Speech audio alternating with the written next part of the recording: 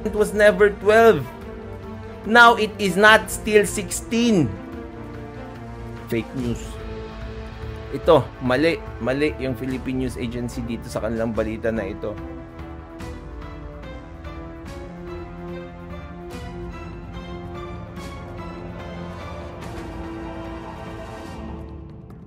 Hindi sinasabing ang age of consent is 16 years old, 18 pa rin.